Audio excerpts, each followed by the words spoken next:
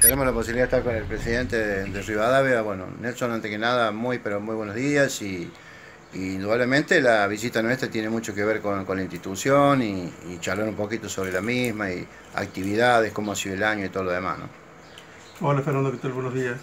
Eh, bueno, sí, en, en, la institucional y en lo deportivo ya estamos terminando el año y al mismo tiempo arrancando con todo lo que es la escuela de verano, todo ese tipo de actividades del verano.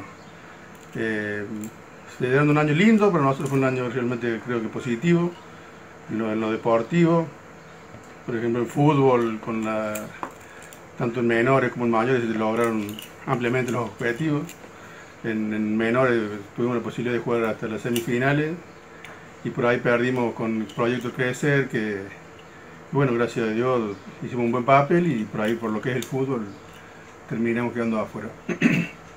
y en lo que es primera, Bien, yo creo que fue un buen año, a pesar de que arrancamos un poco desarmado con el equipo y se fue armando con el correr de los partidos. También llegamos a cuarto de final, donde jugando con todos los chicos del pueblo, con una base de, que gracias a Dios por el año que viene la tenemos toda, tenemos todos los chicos, salvo el toro que cambió de laburo y que no sabe qué va a hacer yo creo que la base para el año que viene está. Y si bueno, logramos traer algún par de refuerzos, potenciar un poco más el equipo, creo que vamos a poder dar de nuevo una, una pelea por lo que hacer un buen papel por lo menos en el campeonato. En, lo que tiene que ver con la institución en sí, en el club, eh, materia de obras, eh, espectáculos, ¿cómo, ¿cómo ha sido el año 2017? Bueno, en lo que es obras, bueno, siempre el polideportivo siempre requiere algún mantenimiento, requiere algo de pintura, algo así.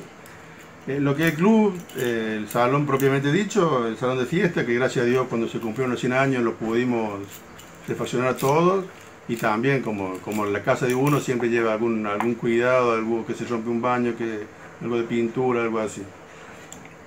Y en lo que es espectáculo, bueno, eh, acá eh, se ha hecho difícil el tema de espectáculo por los bailes y esas cosas que, bueno, se ha monopolizado todo eso con una sola persona. Entonces traer una orquesta de, nombre nos cuesta mucho y por ahí es llegar una plata que por ahí no sabes si la vas a poder eh, después recuperar.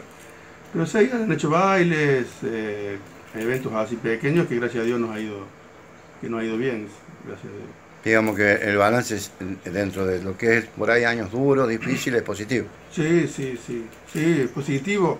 Eh, por ahí, eh, para hacer un espectáculo, vos tenés que llegar una plata que por ahí el club eh, la necesita para otras cosas. Y tener mucha posibilidad de que te vaya mal, obviamente, la posibilidad de que te vaya bien también está, pero por ahí no nos gusta llegar un, un dinero que es importante y que por ahí vos lo podés usar en otras cosas hablar de, digamos, no hablar todavía del 2018, pero hablar de lo que podría ser 2017, que prácticamente estamos en el final, y que tiene mucho que ver con la temporada de verano, ¿no? Porque va a ser, ya, ya están hablando de comenzar, ya se está trabajando en lo que es la pileta y todo lo demás, ya está prácticamente el lanzamiento encima, y bueno, después de cara al 2018. Sí, sí, eso ya está. Eso el lunes, si Dios quiere, arrancamos con la escuela de verano.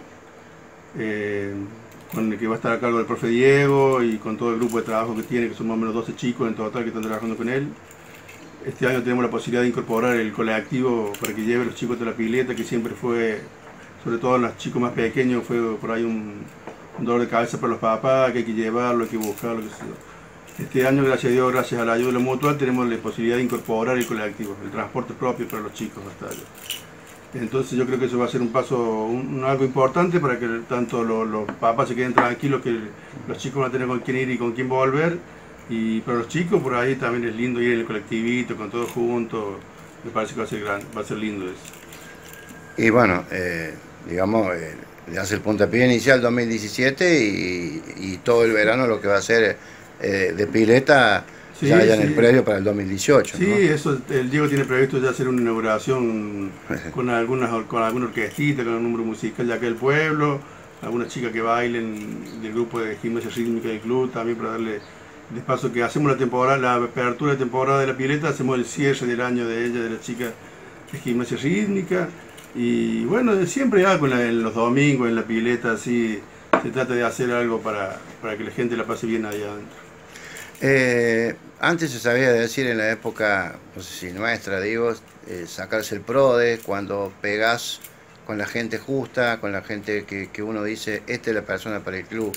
No sé hoy cómo se le podría decir, llama el Kini, llama lo que, lo que significa mucho dinero, pero eh, lo que significa mucho en inversión, digo, y lo digo precisamente por, por, por Diego, ¿no? Porque Diego prácticamente es una persona que le ha dado a Rivadavia este, eh, unos resultados excelentes de lo profesional, como persona.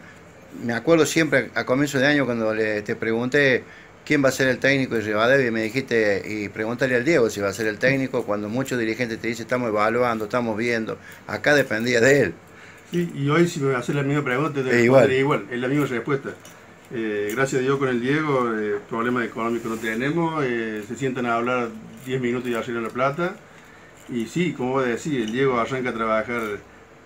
A ver, no sé cuándo arranca porque no sé cuándo para, no sé cuándo termina No tiene parates. Terminó el, sábado pasado con los chicos en, que gracias a Dios tuvimos que jugar la final en Freire, no, en, en Brinkman. En Brinkman. En Brinkman con San Jorge. Y, pero ya había arrancado con el mantenimiento del polideportivo porque él también se hace cargo de la escuela de verano, de lo que es todo el predio de la pileta, todo eso. Entonces tiene siempre una continuidad. Por eso tuvo las vacaciones, te acuerdas que nosotros estábamos jugando la última parte de, la clasificación en la primera rueda y él se tomó unos días, porque bueno, si no, no para nunca. Realmente no es por la agarro ni nada, él no para nunca. Ya está pintando la pileta, el lunes arranca la escuela de verano y eso lo empalma después con una pretemporada de, de fútbol infantil y de, de, primera. Así que no, sí, eh, por ahí hay personas que, que tienen un lugar en el mundo y tanto él encontró su lugar en el mundo de Rivadavia, me parece, y Rivadavia encontró una persona que le hacía falta porque eh, te, hace todo.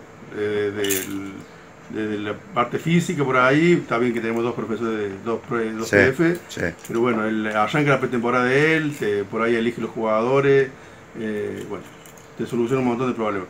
Y ahora en esta parte del año ya está con la escuela de verano, te, tiene a cargo todo lo que es la supervisión, lo que es la escuela de verano, y bueno, eh, a la tarde está con, con, todo lo que es la, escuela libre, la escuela de la, el verano, la pileta normal, digo. Digo, Nelson, eh, ¿esperaban este año eh, así, digo, porque por ahí lo podemos llevar mucho el plano del fútbol, el plano deportivo, más allá de otras actividades, pero esperaban un año así como este y, y por ahí, ¿qué es lo que anhelan para el que viene? Sí, a ver, cuando arrancamos el año, en lo futbolísticamente hablando, estoy diciendo, ¿no? Futbolísticamente arrancamos el año eh, en primera, con algunos bajones, pensábamos que sí arreglar lo de Fabio y no se pudo. Eh, a los 15 días se nos golpea Marquito Isuardi. Traemos otro salguero de Córdoba y a la semana le sale otro laburo y no puede venir más. Entonces, bueno, arrancó un año complicado. Y, pero bueno, nosotros apostamos siempre, hace muchos años que estamos apostando ya con el trabajo de Diego, con los chicos. Eh, y bueno, vamos a ser sinceros, la, el primer objetivo era salvarse del descenso. Como yo creo que, más allá de la zona norte eh, o algún equipo de la zona sur como puede ser el más fuerte, el resto de los equipos arrancamos el año con, el, con la expectativa de salvar el, descenso. Entrar en los cinco, entonces voy a entrar entre los cinco y jugar una segunda parte del año mucho más tranquila. Bueno, cuando una vez que se logró el, objetivo ese, que era el, traer un par de refuerzos, no se lograron los refuerzos que queríamos nosotros por, por una parte económica, por una parte que se complicó ahí, no pudimos. Y bueno, gracias a Dios los resultados nos acompañaron y, logramos lo que se logró, que fue llegar hasta un cuarto de final. Y para el 18 nosotros creemos que, a ver, de todos los chicos que terminaron jugando la última fecha, eh, son todos chicos del club. Salvo, como te decía hace un rato, salvo el Toro, el arquero que por ahí consiguió otro laburo y se le va a complicar un poco la parte de, jugar, que todavía no termina golpeado, y logramos meterle un par de incorporaciones de que sumen, que sean realmente refuerzos. Eh, yo creo que vamos a poder armar un, equipo bien competitivo. Bueno, Nelson, eh, lo que a nosotros nos queda es eh, ser agradecidos de ustedes, ¿no? De la atención todo el año y realmente esperamos. Hasta nosotros por ahí decíamos, ¿qué hacemos el año que viene? Yo hasta me planteé, digo, no sigo más, eh, me dedico a hacer otras cosas, pero uno vive fútbol, respira fútbol y, y creo como hablábamos con Oscar Pinetti y Radio Belgrano, decíamos, y es difícil cambiar a esta altura y seguramente vamos a seguir ligados y la idea de seguir ligado para el 2018 es ser un poco más incisivo. Ya estábamos hablando con la gente del fútbol inferior y ya queremos tener, el, no digo el gol a gol de la categoría de los chiquitos, pero sí tener los autores de los goles de todos los partidos, de, toda la liga. Va a ser un trabajo arduo, pero digo, ya, ya nos estamos metiendo, ya de decir no sé qué vamos a hacer, ya lo estamos metiendo ya en, en todo lo que es el 2018. Y bueno, agradecerle mucho a Rivadavia, agradecerle mucho a ustedes, porque siempre la información, siempre el respeto y, eso la verdad que nosotros lo valoramos mucho. Sin la ayuda de ustedes, sin la colaboración de ustedes, no sería tan fácil esto. No, los agradecidos realmente somos nosotros.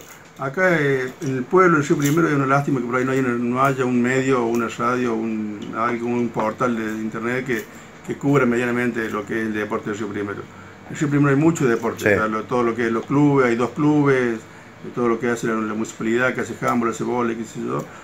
Y hay no hay un medio que te cubra todo eso. Entonces eh, los agradecimos a nosotros que vengan ustedes de Rollito y, nos cubran. Y a los chicos les gusta ver, verse la información, ver las noticias, ver una foto suya en algún portal. Eh, para los chicos es lindo. Y la gente por ahí también le interesa mucho ver cómo salió el equipo, cómo están jugando, eh, toda la información que, que ustedes le pasan año a año, siempre, todos los domingos. ¿no? Nuevamente gracias. No, por favor, gracias